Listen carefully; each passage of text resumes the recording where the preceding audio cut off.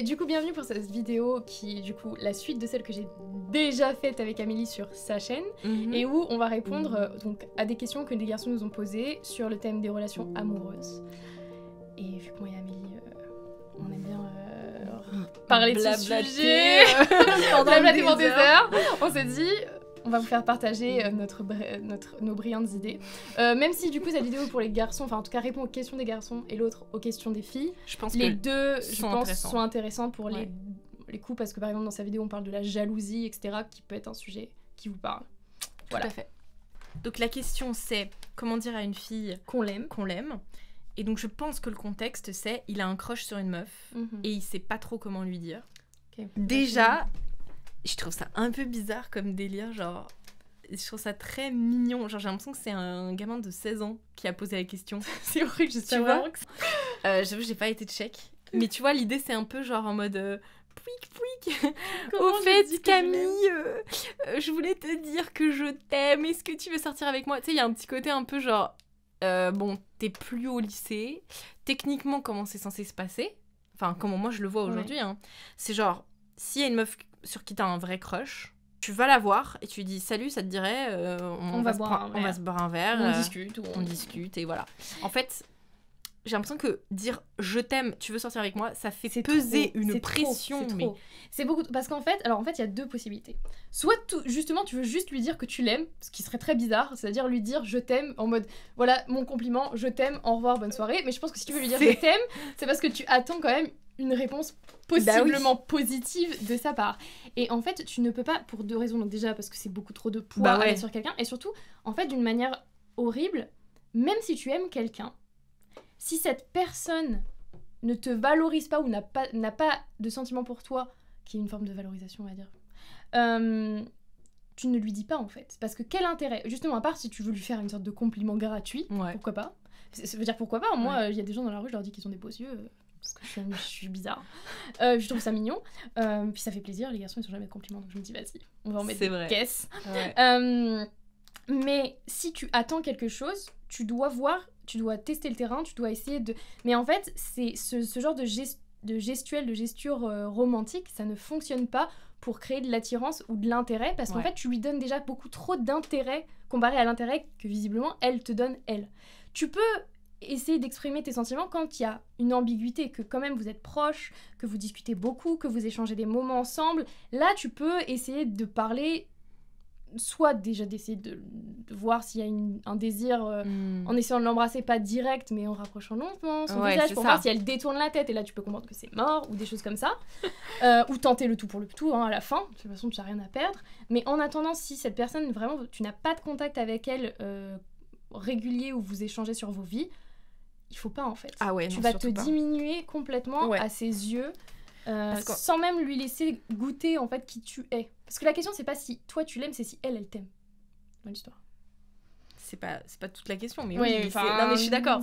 En fait, en oui. fait j'ai l'impression que les mecs, la plupart des mecs, ils ont aucune idée de comment on fait pour générer le désir, le et désir chez les femmes. Un des premiers trucs du désir féminin, c'est faut pas être en mode ah Juliette, comme je t'aime, viens tu m'aimes aussi, tu vois. Là, ça fait vraiment needy. C'est ça, il y a, il y a cette espèce de vibe un peu genre euh, le besoin. aime-moi quoi, tu vois. Alors que euh, ce qui, je crois, attire, euh, on va dire le désir féminin, c'est plutôt on veut quelqu'un qui est. Mais attends, je crois que c'était la question d'après en fait. C'était comment faire, comment plaire en tant qu'homme respectueux? Ah oui, bah du coup, euh, on Tu vois, ça, ça suit avec cette question qui est comment plaire quand on est un homme respectueux euh, et qu'on, enfin, parce qu'apparemment ils n'arrivent pas à nécessité de désir susciter, susciter le désir. et l'intérêt. En fait, le problème principal, déjà, il y a, y a plusieurs choses. C'est, je pense vraiment, et vraiment, je vais dire un cliché astronomique, mais c'est vrai, la question de l'authenticité. Mais pas l'authenticité dans le sens euh, être un vieux du terre-terre, tu vois, genre. Mais l'authenticité en mode, voilà, ça c'est moi. Voilà comment je suis. Pas de honte, pas de gêne, pas de prétention non plus. Tu vois, les gens qui sont très forts d'eux-mêmes. Et pas, je parle pas d'authenticité en mode salut, je suis timide et non non non. Ouais, c'est en mode voilà ah bah moi j'aime ça, ah bah moi je j'aime ça, je fais ça. Euh, quelque chose, en fait une Ah. forme de un, un- le rapport il doit être naturel en fait. Hmm. Pour déjà qu'il y ait un intérêt, si si la personne elle sent directement que dans le lien que tu crées avec elle il y a un poids, un poids, une, une attente ou un, un truc. qui- ça ne me fonctionne pas en fait. Le début de tomber amoureux et de susciter l'intérêt, c'est le jeu. Le rapport amoureux, déjà, c'est le jeu, Ouais. mais le début, c'est vraiment le jeu. Tu me veux, tu me veux pas. Qu'est-ce qu'on dit Qu'est-ce qu'on fait? Et en fait, quand, entre guillemets, les Mhm. cartes sont posées de manière très claire, c'est-à-dire Ouais. je te veux maintenant pour faire ça. Au tout début, hein, je parle pas de. je- Oui, Vraiment, je parle de la après, rencontre et ouais. des premières semaines. Ça, en fait, ça ne suscite pas l'intérêt, l'envie d'en connaître plus. Parce Ouais. que déjà, tu as trop donné d'intérêt, comme je disais avant. Mhm. Et vraiment, tout se joue dans ce jeu de je, te donne de l'intérêt, un peu moins, pourquoi euh, euh, et, et la question de la réciprocité, en fait. C'est-à-dire que si l'autre ne rend pas, Ouais. tu arrêtes de donner. Il n'y a pas de je donne, je donne, je donne, je donne, parce que la personne, de toute façon, ça va pas d'un coup pop-up. Ah, mais en fait, il m'a donné tout ça, on y va. Ouais. Donc il y a ça. Mais d'ailleurs, c'est un peu pour ça que je pense que le... les applis de rencontre, moi, sont totalement un turn-off euh, de dingue. Parce qu'en fait, du coup, quoi, tu, tu parles un peu sur les applis, genre t'as matché un mec, et ensuite, quoi, vous allez vous voir, Et vous savez ce que vous et tu sais déjà où est-ce que c'en est, ouais, c'est ça, il y a aucun mystère, il y a aucun... De toute façon, c'est l'opposition permanente entre le la romantisation, l'idée, la narration, le désir, qui Mm. est très volatile, Ouais. et le chose concrète qu'on veut, le couple, nan, nan, nan. Et, et c'est un assemblage des deux qui doit fonctionner. ouais. Mais s'il y a que l'un ou que l'autre, ça marche pas. Soit c'est trop. Euh, c'est la loi de la thermodynamique, la deux. Ouais. Soit c'est trop, euh, trop de chaos, trop d'incompré- d'incompréhension et ça va finir par exploser dans un sens. Soit au contraire, le système il est tellement Lent. lent, et, et- et stable qu'en fait il, il tend vers la dégénérescence et donc ça s'effondre. Et en fait, on est tout le temps dans cet équilibre permanent. Et c'est un peu ça en fait que je veux dire dans la séduction. Et du coup, c'est complexe à appliquer et je vais essayer de le concrétiser. Mais quand on est dans la séduction, on est beaucoup là-haut. On est dans le fantasme, on est dans le chaos, on est dans Mhm. quelque chose de voilà. Et par la suite, on rajoute cette encre. Mais si on veut juste ancrer les gens, en fait, on les noie. Et, Putain, ça, vrai. et ça marche pas. Ouais. Et donc, ce qu'il faut, c'est horrible, mais en fait, quand tu rencontres quelqu'un, tu lui vends du rêve. Pas du rêve faux, parce que Ouais. tu vends qui tu es, euh, tu vends tes intérêts, tu vends tout ça, mais c'est en fait croire qu'on a quelque chose à apporter à la personne. Et il faut le croire profondément. Croire qu'on a vraiment un truc en soi, Mhm. même si c'est euh, une tendresse, mais qui vaut la peine d'être euh, regardé et d'être donné. En fait, il faut croire profondément qu'on a... euh, on, on doit être vu, on doit être regardé, il y a une raison. Euh, Ouais. Et c'est vraiment ça qui attire chez quelqu'un, et, et ça c'est pour tout le monde, et on a tous des moments où on y est et des moments où on n'y est pas, et on voit la différence dans l'attitude des gens. Ouais. Mais c'est vraiment ça, et ça, ça demande de la préparation, déjà de la préparation physique, dans le sens où toi et moi, et même pour les garçons, je l'ai vu, se préparer euh, physiquement à un rendez-vous, ça te met dans un, dans un Mm. état, un état émotionnel qui normalement est plus celui du joueur, qui a plus confiance en lui. Parce que tout se joue sur la confiance? La Ouais. confiance, ça irradie. Totalement. Ça irradie. Et, euh, et à partir de ce moment-là, il y a quelqu'un qui va venir voir ce que ça donne. Et euh, alors, je donne un exemple que j'ai vu récemment, euh, au Nouvel An d'ailleurs. Du coup, donc il y avait deux garçons qui étaient intéressés par une fille, une fille qui était vraiment belle. Et, euh, et donc il y en avait un, les deux, euh, ils étaient pas mal en soi, enfin physiquement, il y avait, en tout cas il y avait rien de spécifiquement ni désagréable. euh, Ni, voilà. ouais. Et il y en avait un, je te jure. Donc imagine, ils sont tous les deux quasiment pareils. Ouais. Physiquement, le premier, il se met comme ça, genre la fille est en face, et il est là et il écoute tout ce qu'elle dit. Alors c'est pas qu'il écoute, voilà. Attends, ce qu'il faut que tu parles dans le micro. Bah ça va, je suis dedans, non? Ok. Parce non? que si tu dépasses cette barre. Ok. Du coup, il se met tout en avant vers elle, tout son corps est tourné vers elle. Et l'autre, il écoute aussi, et il y a le jeu. Mais il est comme ça, alors attends. Il est comme ça. Et il répond, il échange, tu vois. Qui lui a plu? Les gars Évidemment. comme ça. Parce que c'est, tu m'intéresses, je te le dis avec les yeux, Hmm. mais je suis pas comme ça à, à boire tes paroles parce que tu n'es pas le centre du monde en fait. Il faut arrêter, c'est justement ça, je pense, le, le problème des, des garçons qui sont respectueux, c'est qu'ils donnent souvent trop de crédit, trop de Ouais. crédit à la femme en face. Même la meilleure des personnes de cette terre n'est pas parfaite Mhm. et n'a pas besoin, enfin, gère vraiment le cliché de on est des humains, c'est pas un cliché, c'est une vérité. Ah, mais ça me fait penser Et donc, rappelez-vous ça. Je veux dire, rappelez-vous ça, que cette personne, même si c'est une femme, même si elle est belle, même si elle est tout, ce n'est pas Dieu sur Terre. Donc, ne vous, ne vous comportez pas comme si elle était Mm. mieux que vous. Elle n'est pas mieux que vous.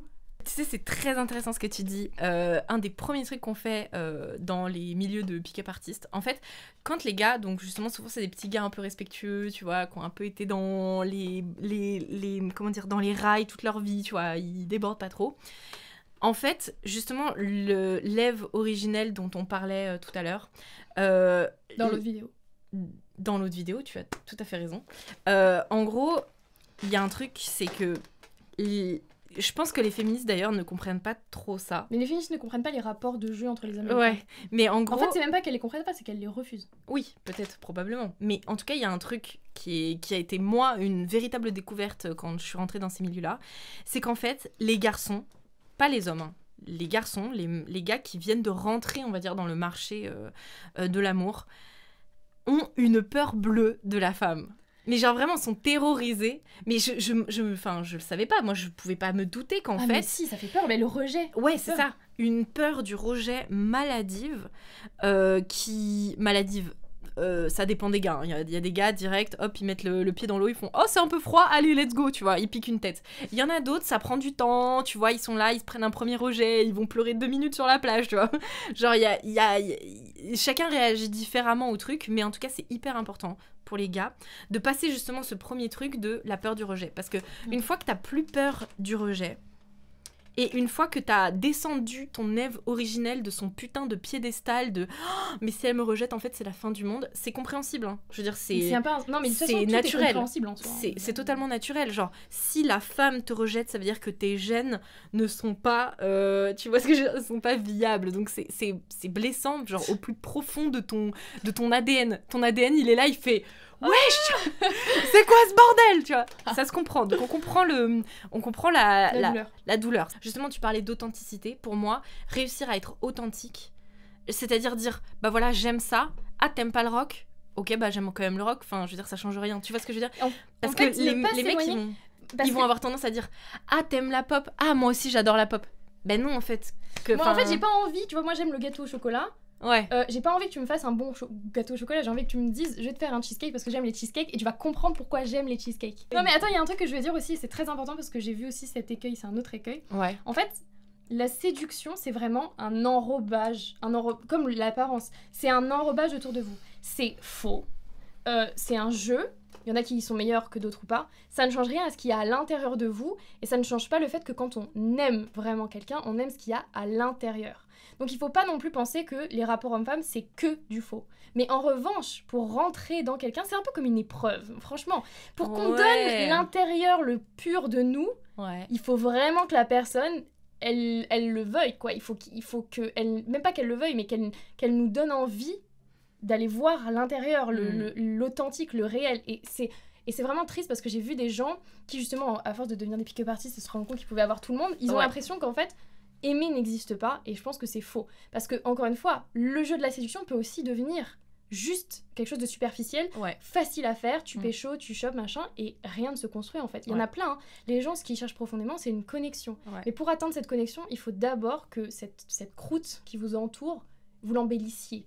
Alors physiquement, intellectuellement, et c'est surtout l'attitude. hein. Franchement, c'est toujours l'attitude. Et surtout, ouais, apprendre à apprendre un minimum, quoi, à savoir euh, comment marche le désir féminin.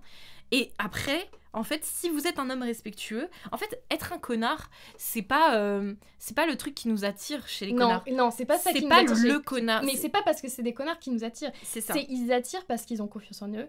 Parce que justement, Parce qu'ils s'en foutent. parce qu'ils s'en foutent. Parce qu'en général, que c'est des justement, ils leaders. mettent pas de poids sur le truc. Ouais. Ouais, ça peut être des leaders. Enfin, en tout cas, il y a quelque chose qui tourne. C'est pas, en tout cas, le fait que ce soit des connards, ça n'a- n'attire personne. Voilà, Ouais, vrai. on aime les mecs respectueux, c'est juste que les mecs respectueux, ils font toute une montagne de la putain de femmes, de femmes, de féminité, ils ont une Ève originelle gigantesque dans leur tête. En gros, gardez en tête que peu importe la personne en face, vous méritez son attention et son respect.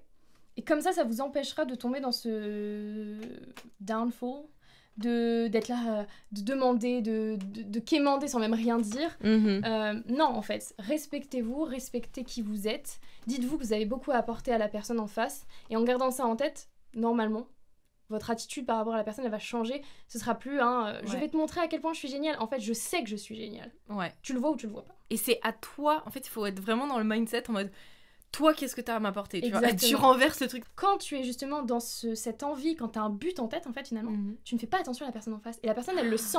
C'est-à-dire que oui. tout- toutes tes interactions, tu les réfléchis, tu les penses, et finalement, en fait, tu ne donnes pas d'intérêt à la personne en face.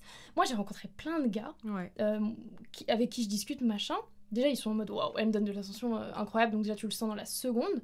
Et puis c'est surtout du coup, comme ils sont euh, surpris que toi tu leur donnes de l'attention, ils ne te parlent pas en fait. Ils, ils se parlent à eux-mêmes ou ils te voilà, mais qui tu es, pourquoi tu es là, qu'est-ce que tu aimes? Non, en fait, ils voient que ta beauté et c'est ta beauté qui les choque. Et Mm. là, directement, déjà, tu te sens pas vu parce qu'on n'est pas que notre beauté, même si, euh, voilà. Enfin, il y a un moment, t'es en mode, bon, allez, c'est bon, bonne soirée, tu vois. Voilà, voilà pour les conseils sur ce Bah. sujet. Euh, du coup, il y avait une question qui me fait rire parce qu'on en a parlé avec Amélie dans un autre, dans le sens inverse. Euh, la question, c'est du coup, être en couple avec une gauchiste possible? C'est Ou, est-il ou en tout cas, quelqu'un ouais. point de... qui n'est pas de droite. Ah oui, t'avais marqué. Oui, pour qu'on parle de. Alors, euh, en fait, encore une fois, du coup, ça revient exactement à ce que je disais précédemment c'est cliché ou pas cliché. Si c'est un cliché de gauche, si c'est le cliché du wokisme qu'on Ouais, entend c'est partout. la meuf aux cheveux bleus qui est en mode. euh, Si c'est quelqu'un qui veut pas débattre ou qui veut Hmm. ou en tout cas qui, qui refuse l'idée même du débat qui dit il faut pas débattre avec l'extrême droite je sais pas quoi là euh, Ouais. c'est mort c'est complètement mort mais à l'inverse c'est vrai aussi vas-y ouais tu veux dire Euh, non, moi j'allais dire, euh, quand même, quand tu te mets en couple avec quelqu'un, euh, il faut quand même te mettre d'accord sur un certain nombre de, De valeurs. valeurs. Et du coup, si jamais tu te mets avec une meuf de gauche, faire bien attention, bien bien bien attention, qu'il y a un certain nombre de valeurs qui correspondent. Alors, moi, je mets un, que- je mets un, je suis d'accord avec toi, mais justement, c'est encore plus complexe parce qu'en fait, finalement, quand tu regardes, il y a beaucoup de mouvements de gauche et de droite qui, en fait, partent des mêmes valeurs. Tout à fait. Le respect C'est pour d'autrui, ça. Ouais, ouais. et en fait, le danger, c'est l'expression de ces valeurs. Et c'est là où, justement, et donc je rejoins, rejoins ce que tu dis, mais du coup, sur des choses plus pratiques, Mm. l'éducation des gosses, si vous voulez des enfants, etc. Voilà, Comment est-ce qu'elle voit les choses euh, Déjà, est-ce qu'elle veut des idées. gosses? Ouais, enfin, en tout cas, toutes ces questions-là, elles doivent être euh, invoquées. Mais justement, pour revenir à ça, les gens en général, normalement, quel que soit leur mouvement politique, quand ils sont un peu euh, éveillés, Ouais. ils partagent les mêmes valeurs en fait. Ouais. Le respect d'autrui, la volonté de prospérer, etc. Le problème étant que leurs priorités sont différentes, que leur analyse du monde est Mm. différente et que donc euh, forcément du coup leur manière d'agir dans le monde elle est différente. Mais ça veut pas dire que vous partagez pas en soi les mêmes valeurs. Et c'est justement là que le bas blesse. Malheureusement, ça veut pas dire pour autant que dans leurs expressions, ils ne font pas tort aux valeurs qu'ils ont à l'intérieur d'eux. Ouais. Et c'est là que la question combien, à quel point tu peux tolérer que quelqu'un bah, qui est d'accord avec toi, il faut aimer les autres, il faut respecter autrui, il faut Mhm. machin truc chouette, pense que c'est ça qu'il faut faire plutôt que ça. Ouais. Et là, c'est là que les choses se complexifient. C'est l'ouverture d'esprit. Tu sais, dans les, dans les trucs de, de, de personnalité, tu sais, dans le Big Five, Ouais. t'as le, le trait de l'openness, qui est l'ouverture d'esprit. J'ai l'impression, d'expérience, que les mecs à droite Ah, ok, donc oui, elle va où je veux aller. sont beaucoup moins ouverts d'esprit que les Les mecs, mecs de à gauche. gauche. Enfin, qui Attendez, parce que souvent quand je le dis à des mecs de droite, ils le prennent hyper mal. Parce qu'en fait, je crois que fondamentalement, les gens ne comprennent pas qu'est-ce que c'est que le trait euh, openness. Euh, c'est pas bon d'en avoir. Enfin, en fait, avoir trop d'ouverture d'esprit, c'est genre, tu te balades avec euh, du papier. La relativité dans la tête. tu Ok. crois aux extraterrestres. euh, tu vois, genre, en fait, trop d'openness, c'est vraiment pas bon. En fait, c'est à quel point t'es capable d'encaisser le chaos. Mais moi, pour moi, voilà, justement, pour moi, Ouais. l'ouverture, en fait, c'est ta capacité d'accepter que dans un monde où il n'y a qu'une réalité objective, Ouais. les gens le voient chacun avec une réalité différente. Et pour moi, justement, quand tu vas trop Ouais. loin, c'est là que tu nies carrément des réalités. Oui, c'est vrai. T'es vraiment trop perché. Trop, trop, trop. Mm. Et je parle en connaissance de cause, puisque Du moi, coup. je suis, je pense, extrêmement haute sur, Sur ce cette... Ouais. Et en fait, en général, il est, euh, ce trait, il est opposé à la conscienciosité. Donc, est-ce que tu vois, t'as as une chambre bien rangée? Est-ce que t'aimes bien faire les trucs dans les. Est-ce que t'aimes bien mettre les trucs dans des petites cases? Voilà, c'est l'ordre. Alors que l'openness, c'est vraiment le chaos total. Exactement. Et t'es capable de gérer. euh, Enfin, ton cerveau, il est totalement à l'aise avec beaucoup plus de chaos que la majorité des gens. Et du coup, on en revient au mec de droite. on en revient au mec de droite qui, de manière générale, et c'est pas du tout une insulte, enfin, les, les gars, vous inquiétez pas, hein, c'est pas grave si je dis que vous avez moins d'ouverture d'esprit. Par contre, c'est vrai que il y a une euh, propension aux mecs de droite d'être plus consciencieux et moins ouverts au chaos. Non, mais vraiment. Alors, ce qui est étrange avec les mecs de droite, c'est qu'ils sont très ouverts euh, à la discussion.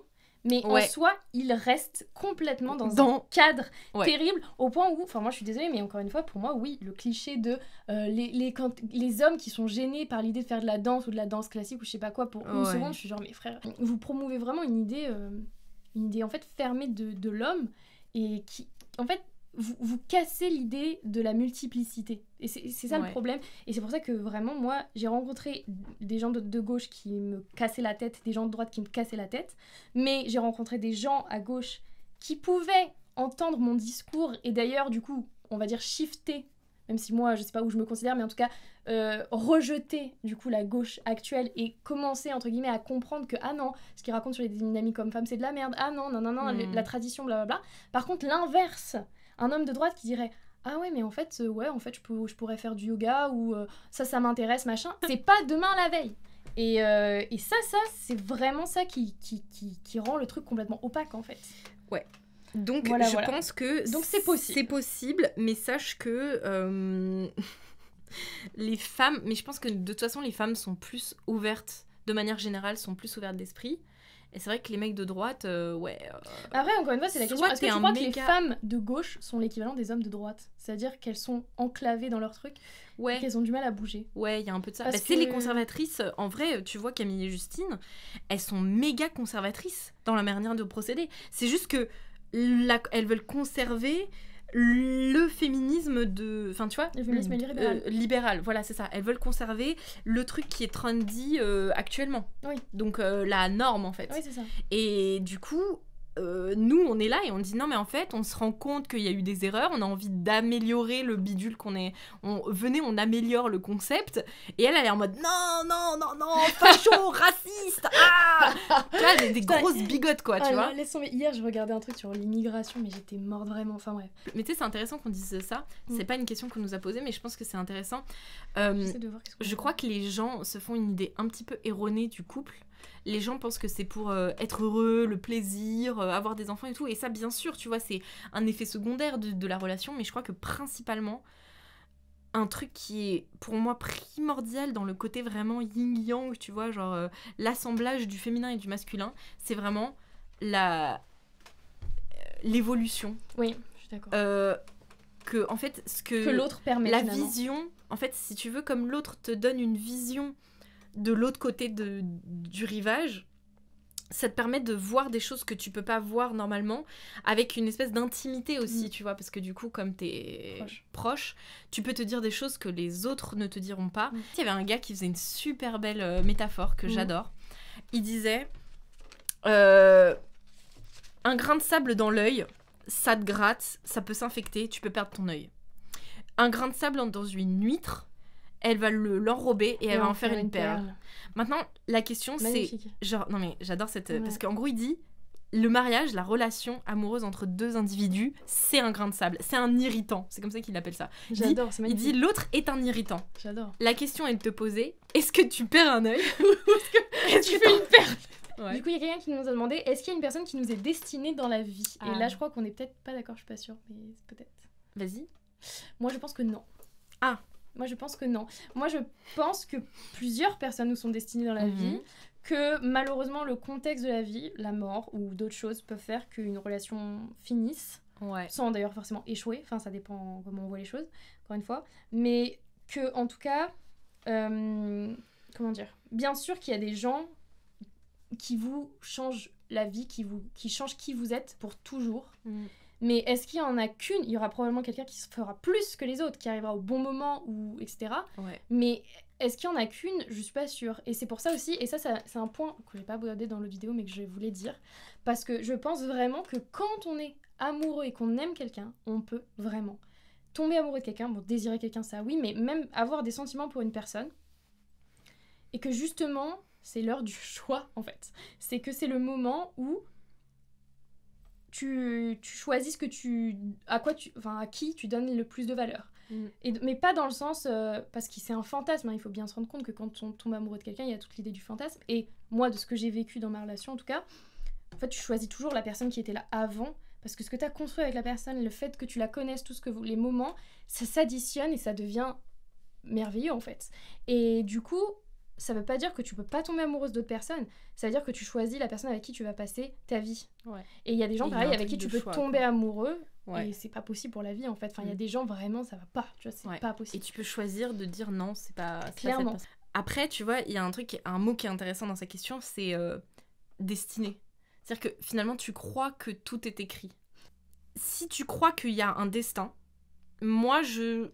Il y a une partie de moi qui pense que peut-être que tout est écrit, ouais. Des Ouais. fois, il y a des trucs, c'est tellement bien fait, t'as l'impression que. Tu sais, tu te dis, mais vrai. si Comment je raconte. Non, mais parce que vraiment, si je vous raconte l'histoire avec mon ex, vous allez si me je dire. vous raconte l'histoire avec mon garçon, my boy Non mais en fait, vous allez vous dire, mais en fait, elle nous raconte du gros mytho, c'est pas possible. Le truc, c'est tellement bien écrit. Bah après, pour avoir cru vraiment que il y avait une personne dans ma vie et que c'était l'homme de ma vie et qu'en fait ça allait pas, bon, ça te ramène un petit peu de l'autre côté en mode, en Ouais. fait, effectivement, il y a peut-être plusieurs personnes. Euh, Est-ce qu'on en fait une dernière ou on arrête? On peut en faire une dernière, ouais. T'en avais pas une que tu voulais Il y en a plein qui m'intéressent. hein. L'amour est un travail comme un autre. euh, la nature de la rencontre a-t-elle une influence sur le rapport à l'autre? Non. Mais t'avais dit, il y a une question que t'as pas. Les- les- le- La connexion. Parce que tu sais, toi, tu me dis tout le temps ça. Vas-y, Mais Bah, je sais pas quoi dire. parlons de connexion. Ah, mais quoi comme question? Quelle pourrait être la question? Est-ce que t'as une question, Amélie? Pourquoi est-ce que Madame Bertille, j'ai une question. Euh, je me retrouve avec une problématique euh, qui est que je n'arrive pas à trouver la connexion. Vous voyez, je trouve plein de potentiels prétendants tout à fait. euh, euh, ils cochent toutes les cases, tu vois. Mais Il manque la chose. il manque the essential. Et bah, tu sais quoi? Je pense vraiment qu'en ce moment. Enfin, je sais pas que je vois la réponse, mais j'ai l'impression qu'il y a vraiment un truc. En fait, je crois qu'il y a deux choses. La première, la connexion, elle nécessite l'intelligence. Bon, ça, c'est d'avoir une Bah, intelligence Une similaire. intelligence, voilà, qui. similaire, oui, qui match. Ouais. Et la deuxième chose, c'est qu'il y ait entre vos douleurs un écho. En fait, il y a un truc Ouais. où vraiment, mais Ouais. vraiment, il y, a, y a- il y a quelque chose. Alors, c'est. Oh my god. Quoi oh putain, je viens d'avoir une illumination. Mais c'est totalement ça. Mais non, mais c'est ça. Oh, C'est-à-dire que quand tu connectes avec quelqu'un, c'est que vos, vos histoires, alors pas forcément dans ce qui s'est passé, mais dans Ouais. ce que vous avez ressenti, C'est juste la- connectent. Et en fait, d'une certaine manière, d'un coup, vous vous sentez moins seul sur Terre. Parce que quelqu'un d'autre a partagé cette expérience que vous, vous avez vécue et que la majorité des gens n'ont pas vécu en fait. Oui, mais attends, parce que du coup, on parlait de l'étincelle. Mais c'est un mix, hein. Ah oui, donc en fait, j'ai pas l'étincelle parce que les mecs, un, ils font pas bien leur emballage. Ouais, et aussi à l'intérieur, ils ont et rien. de deux, Ils ont rien vécu. ils ont pas forcément les- le, Il- le y a vécu rien, il y a- qui résonne. Vraiment, c'est. Enfin, je, je, alors je sais que ça arrive parce que je l'ai déjà vu, mais je ne comprends pas. Je sais pas si c'est vraiment de l'amour. Mhm. Mais les gens qui ont ce côté euh, électrogramme plat, tu sais, genre, la réalité ne les a jamais saisis à la gorge pour leur dire bon, tu fais quoi maintenant, tu vois, qu'est-ce qui se passe? Ouais. Ils ont, ils ont pas été arrachés par la vie et j'arrive pas à comprendre comment ces gens-là trouvent l'amour. Ah, parce que tu crois que ces gens-là, ils ont pas été arrachés par la vie? Bah non, franchement, ils sont. Non, mais je parle pas. ah non, mais attends. Parce que moi, je te dis que la plupart des gens qui sont comme ça, Mais non, mais justement, parce que toi, tu penses pas à la même genre- genre de personne que moi. Moi, je Ah. pense au mec qui est ingénieur et qui a Ouais. des, des trucs d'animé sur son Ouais. mur et qui. Ah non, moi, vraiment, là, j'ai une image en tête d'un mec, genre le mec lambda par excellence. Hmm, ouais, mais en fait, enfin, pour euh, en avoir rencontré euh, quelques-uns, hein, en fait, des fois, ces mecs-là, c'est vraiment les mecs les plus sombres, des fois, tu vois. Ouais. Mais c'est en fait c'est justement tu vois les mecs qui vont se tatouer la gueule euh, qui vont Oui. euh, avoir euh, tu sais oui, s'habiller en noir cliché. avec des piercings et tout tu sais ils vont être en mode Ah, je suis trop dark et tout mais en fait c'est juste rien. ça c'est juste des mecs extravertis qui vont avoir une volonté de vouloir extérioriser leur noirceur Mm. tandis qu'un mec qui va avoir l'air très très propre très très machin et tout tout est bien dans sa vie en fait en général c'est plutôt parce qu'il y a une sorte d'introversion et de pudeur qui fait qu'il veut surtout pas mais surtout pas, même sa meuf, même son truc, il veut surtout pas que l'autre. Parfois, il veut Euh, même pas y penser lui-même. Oui, bah c'est totalement. Il y a une espèce de répression comme ça Ouais. euh, de, de, de toutes les, les émotions et de tous les sentiments. Ouais. Et je peux le dire euh, que vraiment. tout le monde est de- hein, finalement. Mais oui, tout Mais le tout monde, le monde mais est simplement à des degrés différents. Tu à vois, des mais- degrés, et puis surtout à une, une, Une- conscience différente. Les gens qui, qui, qui, re- qui répriment toute leur noirceur et tout leur sombre et qui ne l'assument pas, c'est-à-dire qu'ils sont persuadés qu'ils doivent le cacher. euh, Ou qui sont persuadés qu'ils sont parfaits. ou- qui sont persuadés qu'ils vont bien, Ouais, qu'on est tout tous va complètement wasted. Euh, en fait, c'est ces gens-là qui aussi ne, ne ramènent pas d'intérêt, en fait, parce Mhm. que justement, la- le lisse, Ouais. le lisse n'accroche pas. Je veux dire, Ouais. si quelqu'un de lisse, il n'y a rien qui te raccroche à eux, il n'y a pas d'aspérité, il n'y a rien, bah, c'est pas intéressant. C'est J'ai mon médecin qui me dit toujours ça. Euh, les vrais diamants, les faux diamants qu'on fait en presse, là, je sais plus comment ça s'appelle, Ouais. ils n'ont pas d'aspérité. Et c'est des Hmm. faux. Alors que les vrais, eux, ils ont toujours des aspérités, aucun ne se ressemble. Putain, c'est beau. J'aime bien cette métaphore. Ouais. Entre les perles et les diamants. euh, On ça est aujourd'hui, euh, ouais. Bon, bah écoutez, mademoiselle, euh, Merci, merci, pour beaucoup. cet entretien. Ouais, c'était très intéressant. Si vous avez le temps, allez regarder la, la vidéo qui est du coup sur la chaîne d'Amélie. C'est ça. Et vraiment, franchement, il y a des points qui peuvent vraiment vous intéresser. Je pense Voilà. aussi. On vous dit à la prochaine. Au revoir. Au revoir.